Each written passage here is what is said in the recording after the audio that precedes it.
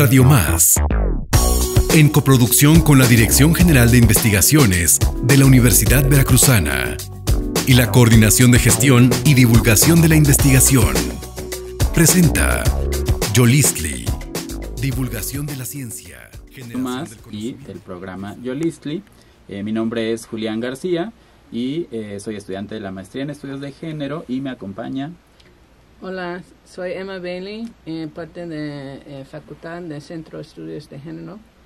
Y hoy estamos aquí para hablarles de un tema bien importante, género, sexualidad y diversidad, que es un tema que pues hace mucha falta eh, aprender, repasar, revisar y pues justamente vamos a hablarles un poquito acerca de este, este tema, cómo se va relacionando pues con, con la vida cotidiana.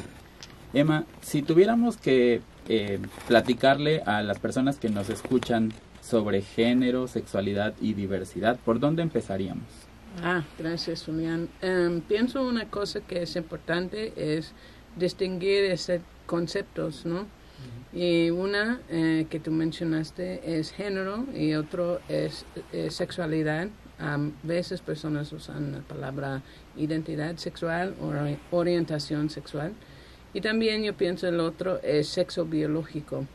Y a veces en, en nuestra vida nosotros pensamos que es biológico, eh, sexo biológico y eh, género es la misma cosa, solamente tiene una referencia eh, de femenino o masculino cuando es género y macho o hembra cuando es sexo.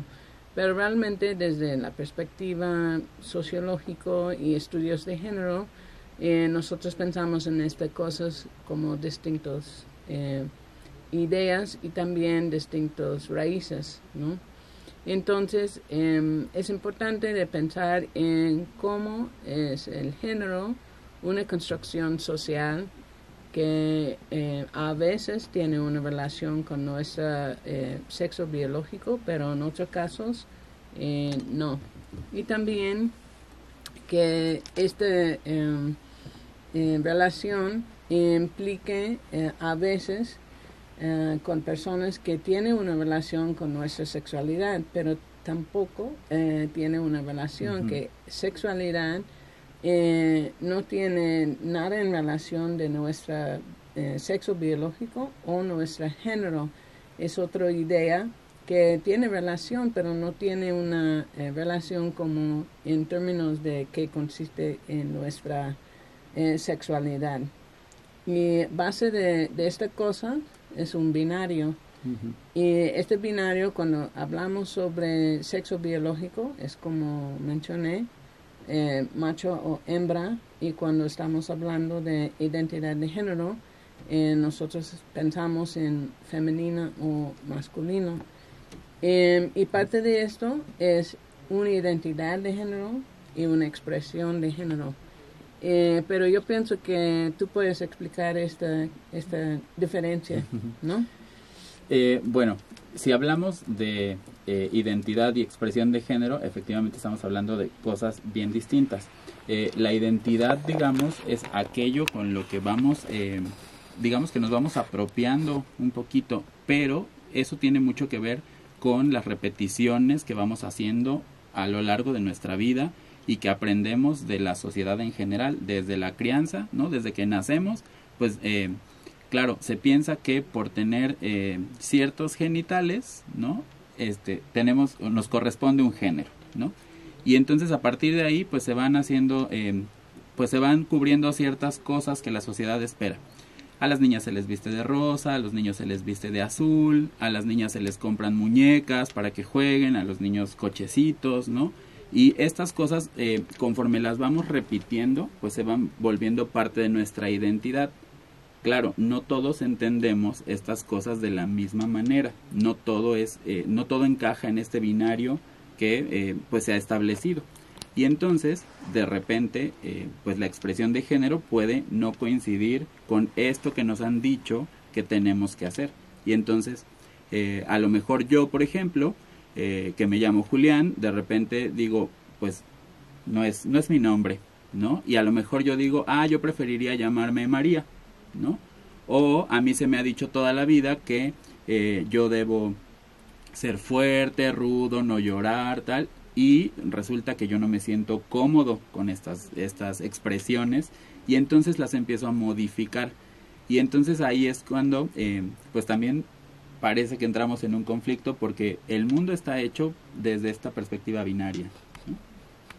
Sí, claro. Y otra cosa que pienso es importante, particularmente en este día de, junio, de hablar sobre diferentes identidades que eh, están parte de, panorama de, género, pero esa parte de este binario. Y ahora eh, nosotros em, podemos entender más sobre una identidad como transgénero o una identidad eh, no binario o eh, género fluido. Y cuando es exactamente como tú eh, mencionaste, Julián, cuando una persona que tiene posiblemente un sexo biológico con expectativas de sociedad y para esta persona no coinciden con esta eh, sentimientos o este, expectativas. Em, pero para nosotros, ah, como la sociedad, es poquito difícil para entender eso porque la mayoría de personas eh, tienen la identidad que nosotros eh, llamamos cisgénero. Es cuando no, no tenemos problemas con nuestra relación entre sexo biológico, expresión de género, ni nuestra identidad de género y pero por um, una porcentaje de, sociedad eso no coinciden y finalmente no em, podemos hablar sobre derechos humanos por todas las expresiones de género aquí en, en México y también en, en otras partes del mundo. Y es que finalmente eh, pues todo, todo el proceso desde que nacemos, ¿no? Eh, va, va dirigiéndonos a estas expectativas, ¿no? Incluso pensar eh, hasta la elección de carrera, ¿no? Tiene mucho que ver con lo que se espera de eh, las personas, ¿no? Y, pensar en que esto es algo que se espera de las personas desde el momento en el que nacemos solamente por pues características biológicas, ¿no? Y y claro, se asignan estos géneros y, generalmente se ven solo dos, ¿no? Y entonces pareciera que los derechos y todo lo que, lo que nos va a proteger, pues solo está en función de dos géneros, ¿no? Cuando en realidad, pues hay otras identidades, ¿no? Que también requieren que, eh, pues se les proteja, requieren ser vistas, ¿no? Requieren eh, pues que incluso desde que son pequeñas, pequeños, pequeñas, ya se empiece a, pues a, a, eh, respetar su identidad. Sí, claro. Em, y yo pienso es, es importante también para em, pensar otra vez no solamente en derechos humanos para todos, pero también existe una gran variedad de humanos, ¿no? Y si cuando nosotros pensamos en personas cisgénero, también hay un gran expresiones, ¿no? Y no solamente es una forma.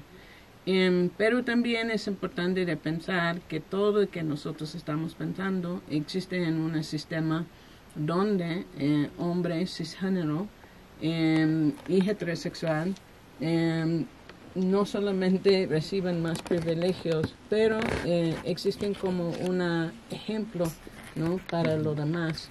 y en tu opinión, ¿qué es el problema con, esto? Pues la cuestión es que eh, pareciera que hay muchos privilegios, ¿no? Pero también no se están eh, analizando quizás que pues todos, todas y todos tenemos como, como en realidad eh, cosas positivas y negativas, por así decirlo, ¿no? Y entonces al poner siempre la masculinidad como algo superior, ¿no? Estamos automáticamente rechazando lo femenino y poniéndolo como algo negativo. Y entonces, claro, cuando alguien aparentemente renuncia, ¿no? Entre comillas, a, eh, a lo masculino, pues rompe con este sistema, con esta idea y, eh, y es criticado, discriminado, violentado, ¿no? Eh, mucho más fuerte quizás. Sí.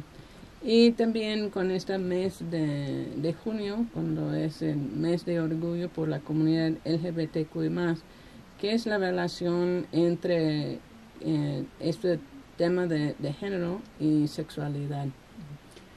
Pues pensaría que para empezar vamos eh, mucho más allá de solo la sexualidad, ¿no? Eh, se trata de, muchas necesidades, de, de, que las identidades no solamente se van a basar en el sexo biológico y en la sexualidad como tal, ¿no? Sino que hay otras cosas como necesitamos espacios, necesitamos educación, necesitamos pues seguridad, protección, ¿no? Y entonces es bien importante ser visibles ante la sociedad para que eh, se entienda pues que, que hay mucho más, eh, mucho más que trabajar, ¿no? Eh, y bueno, pues me parece que ya no tenemos mucho tiempo, ojalá tuviéramos más tiempo, pero pues seguramente regresaremos con, con otros temas. Y bueno, pues quiero dar las gracias, queremos dar las gracias a, eh, a la señal de Radio Más, al programa Yo a Josué de la Fraga, productor, y también a la Dirección General de Investigaciones por este espacio. Gracias, Emma. Gracias, Julián.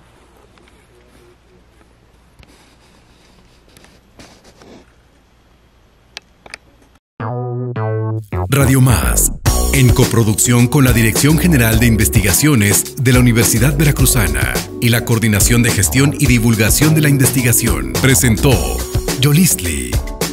Divulgación de la ciencia, generación del conocimiento, desarrollo tecnológico.